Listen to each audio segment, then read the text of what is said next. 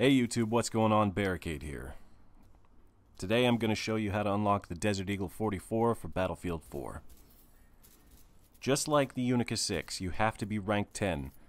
It also helps being premium right now as the DLC has not dropped for non-premium users.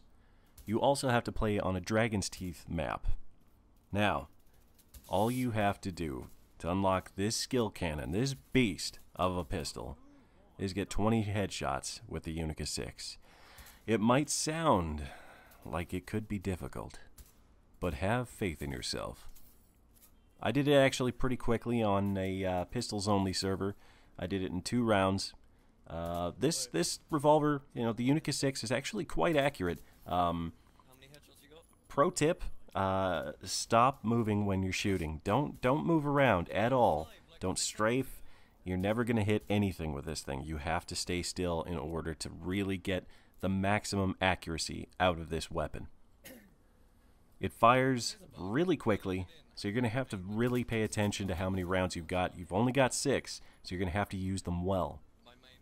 Now, once you do unlock the Magnum, that thing is going to take a little bit of getting used to. There's no trigger delay, but it's got the exact same power as the 44 Magnum revolver itself. So you're going to be wrecking people from medium and even, in some cases, long distance. Anyways, guys, that's it for this one. Keep your eyes peeled for another one tomorrow. I'll talk to you later. No. Seven gigs. Eagle 44, suck my dick. You got it? Eagle 44's crap anyway, yeah, alright. Uh, do you have it?